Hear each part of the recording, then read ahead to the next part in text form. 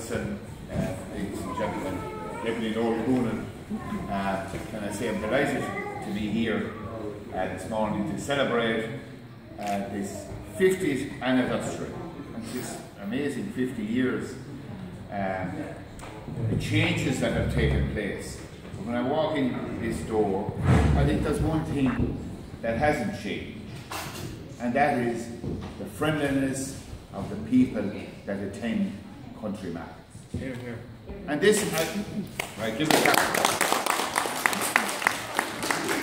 And that's exactly, exactly, okay, right, that's why they all come, because I've been at, I think this is the, this is the third or fourth one that I've celebrated around the, the country with various, um, various towns that have celebrated their country markets of their, their 50 years anniversary. But when you think back in it, that they were started first in, in Feathers, I think, in South Tip, was a Mrs. Lee, I think, was involved in the, the foundation many, many years ago. passed- She was the founder, but, but, but Mrs. there was a Mrs. Lee, and Yeah, she was down here. she was in Fethard. She passed away some, some, uh, some about yeah, March earlier on this year. So she was at. So as I say, there's something special about the country markets and something uh, unique that has been brought with our heritage and what, what we have. That people can actually come in from this area, come in and get the food that is being grown and cooked and baked and whatever. And see the lovely display that's actually here.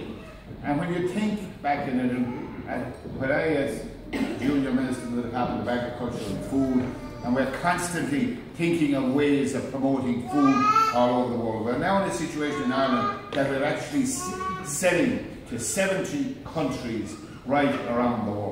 And one of the questions that has invariably, when we go to meet any of the representatives of, of the various countries, where is that food produced? Is it pro- produced locally or whatever? And the very minute, the very, very minute that they hear it's produced in the local area, the, the buyers want to switch into that.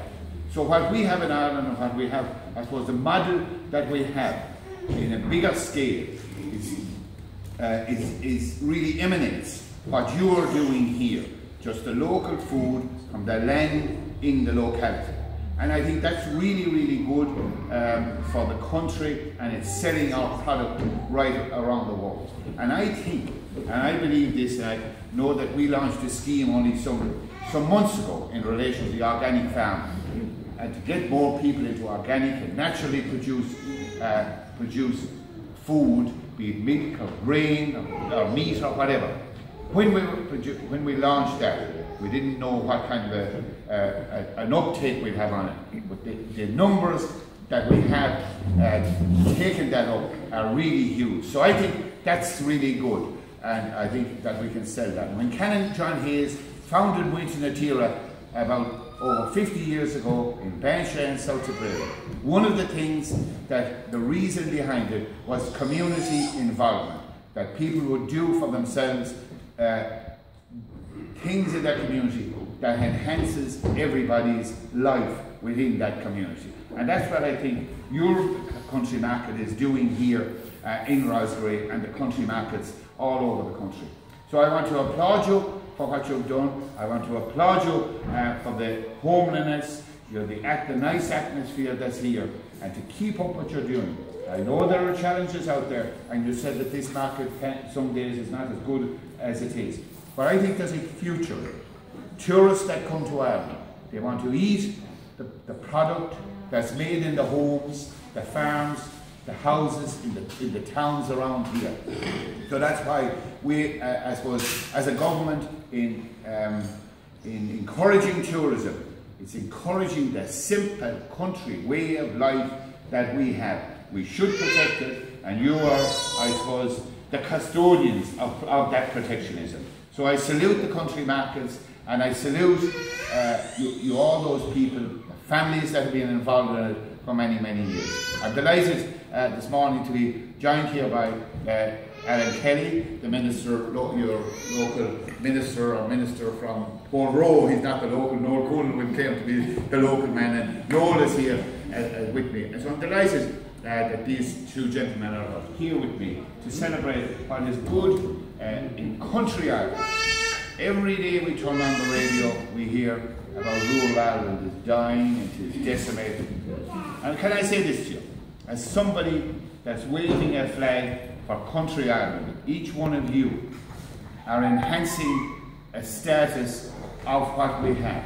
The good that's in country Ireland, the positiveness that's there. And I think we can talk it down about what we haven't. There is change taking place in country Ireland. And that's the key. The change, we have got to adapt it. What we have in, in abundance is the friendliness, the warmth, the community spirit, the way we support ourselves, the way we produce our food, the way we make our, our this very special welcome uh, for the people that come into the country. And certainly being here in Roscrea uh, to celebrate that with you this morning is indeed a very uh, nice occasion for me. I like doing, doing this and I want to promote it. And certainly in our department, we certainly want to promote that. So I thank you for the invitation and wish you success. I won't be here in 50 years time, but make sure, make sure, this is the key, make sure that the friendliness, what you're doing here continues and I certainly know, and if that happens, the quality of life that we have and that we can be so proud of in rural Tipperary can live on for years. Alan Kelly, Noel Coonan and I spend three days a week in Dublin every week sometimes. There is no doubt the quality of life, what we have in Tipperary, the friendliness is not in the bigger urban centres. You can pass people in Dublin and they don't, they don't have time to talk to you. They're so busy. If you walk down the street in Roscrea, all meet and hope they'll be all meeting us when the election comes. Thank you